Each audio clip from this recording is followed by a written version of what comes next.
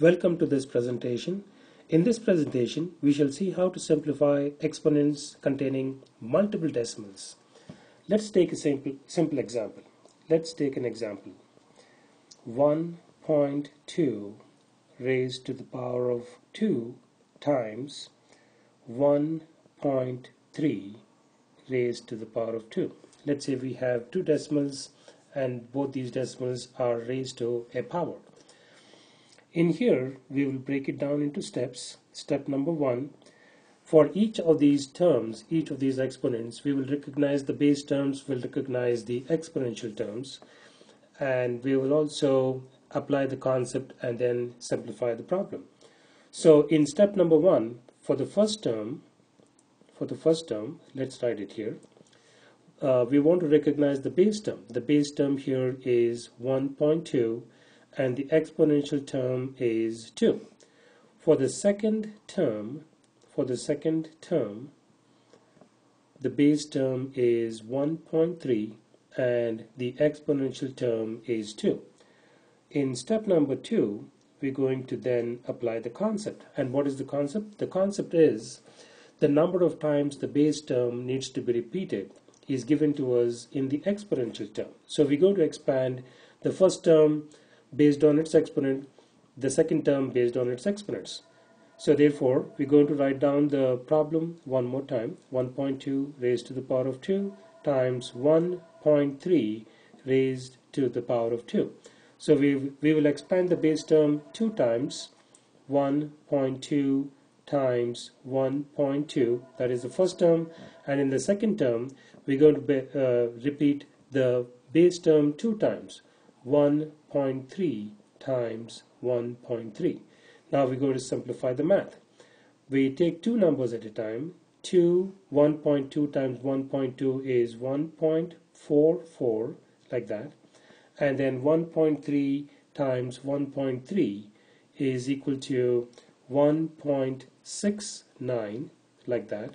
And therefore, therefore we're going to take these two numbers we take we're going to take 1.44 multiplied by 1.69 therefore the answer is going to be equal to 2.4336 okay therefore when we had this problem 1.2 raised to the power of 2 times 1.3 raised to the power of 2 we got an answer of this kind 2.4336 so what did we do here? Let us recap.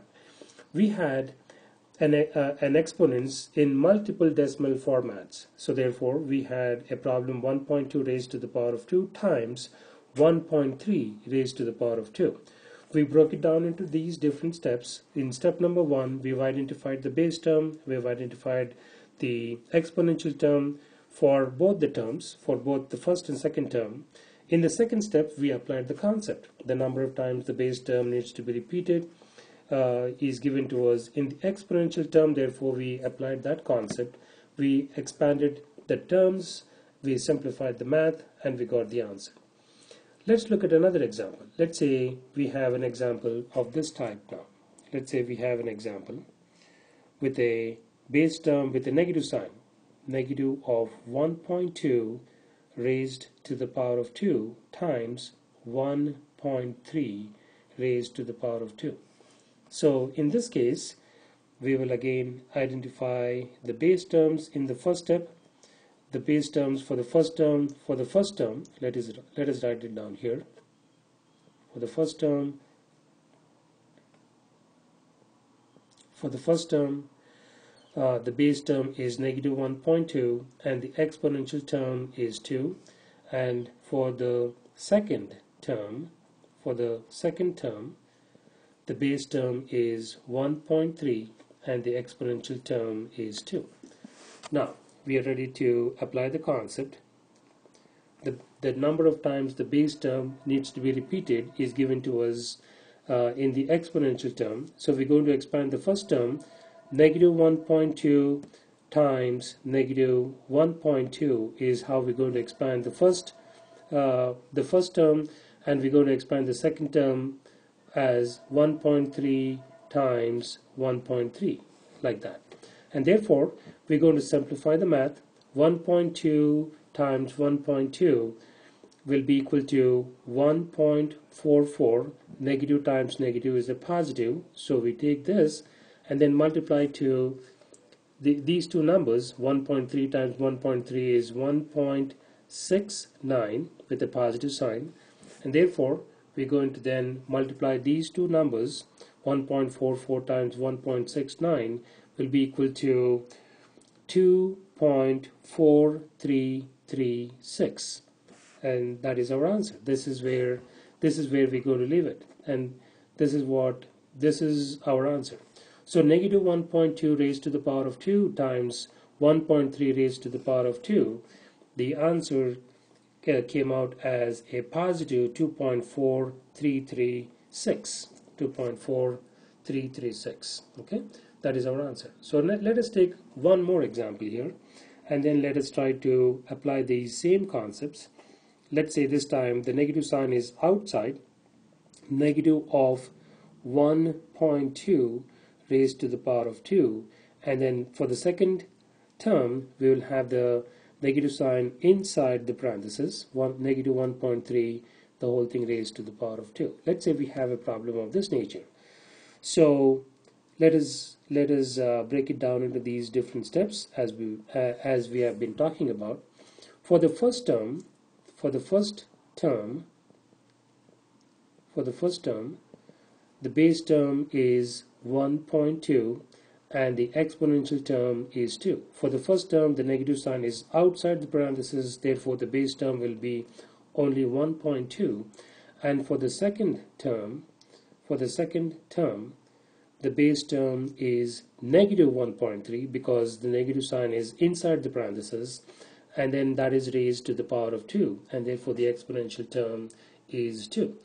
Now we're going to apply the concept in step number 2. We're going to raise the base term, the number of times the exponential term is indicating to us. And we're going to expand these two exponents as given. Let us write down the problem one more time. Negative of 1.2 raised to the power of 2 times negative 1.3, negative 1.3 raised to the power of 2, like that. So now, uh, the, we'll keep the negative sign outside. We'll repeat the 1.2 two times 1.2 times 1.2 like that.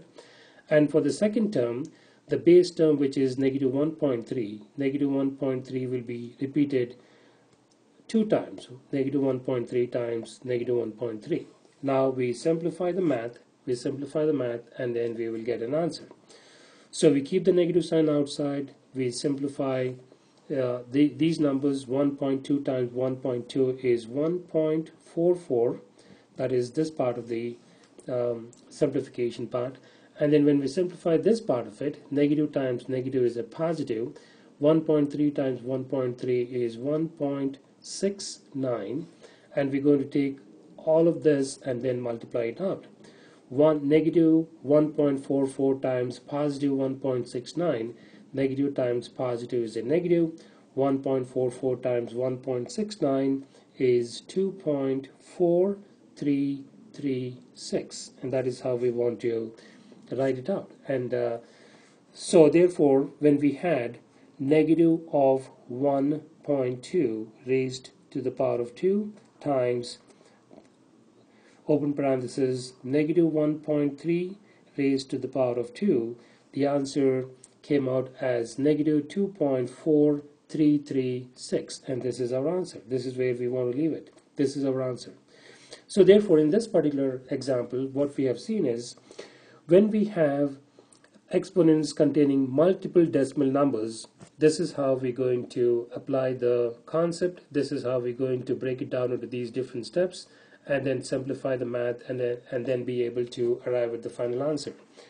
In my next presentation, we shall see how to, how to simplify exponents containing mixed fractions.